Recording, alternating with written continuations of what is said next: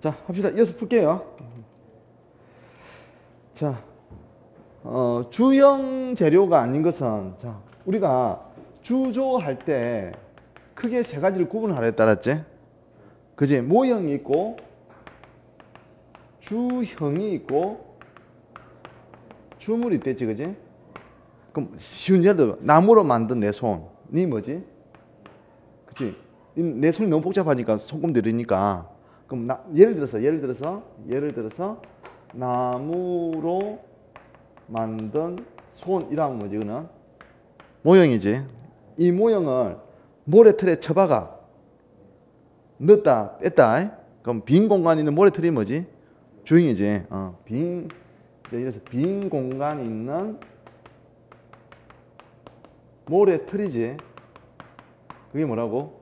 주행이지. 그럼 빈털에 샘물 부 응고대 그러면 주형틀 깨. 그러면 응고된 제품이지 어, 응고된 손.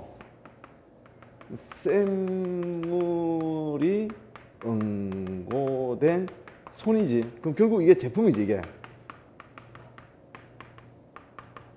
맞지? 어, 그럼 주형을 대해서 물어봤잖아 그죠? 그래서 모래 어, 모래를 우리 뭐랬지? 주형사라고 했잖아. 주형사. 어, 자 해보자. 그러면 모래만 가지고 사용하니까 잘 안 뭉쳐지더라 이거죠? 그래서 정결제로 사용하는 게 뭐가 있다고? 점토가 있지 그지? 대표적인 주강의 저 정결제가 뭐지? 벤토나이트. 어쨌든 정결제 역할을 한다 알았지? 점토 있고 그 다음에 규사가 뭐지? 모래다. 규사의 종류가 모래야. 규사가 모래의 종류야. 어, 자, 그 다음에 분리사는 뭐지?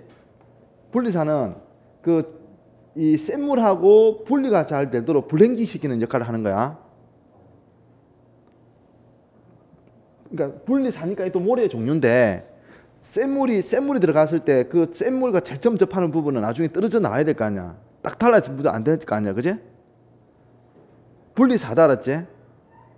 샘물과 절점 접촉되는 모래 부분 그걸 뭐란다고 분리사다 알았지? 어.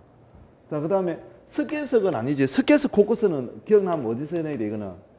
우리 그 용광로에 뭐지? 석계석과 코커스가 뭐지? 연료금 한음제로 사용했잖아, 그죠? 연료금 한음제로 사용되는 거지. 아닌 것은 어느 거지? 석계석이다. 석계석은 용광로에 들어갈 때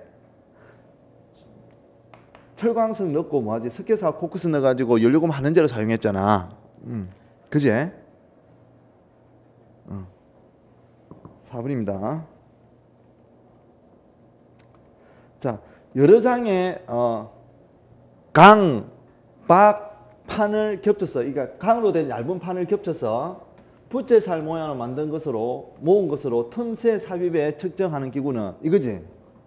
틈새 게이지, thickness 게이지, 간극 게이지 같은 말들이다. 어. 다음 뭐지?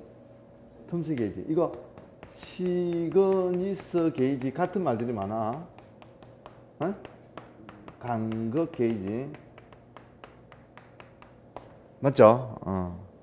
자, 그리고 여러분이 알아야 될 게 뭐냐니까, 이 와이어 게이지가 있대. 이게, 이게 와이어 게이지인데, 와이어 게이지는 이 와이어의 지름을 측정할 수 있고, 요 위에 부분은 뭐 할 수 있댔지?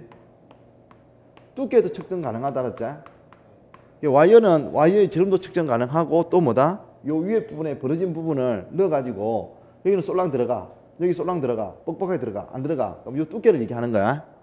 와이어 와이어 게이지는 그 철 사이의 지름도 측정할 수 있고 어떤 박판의 두께도 측정할 수 있는 게 와이어 게이지다 그죠?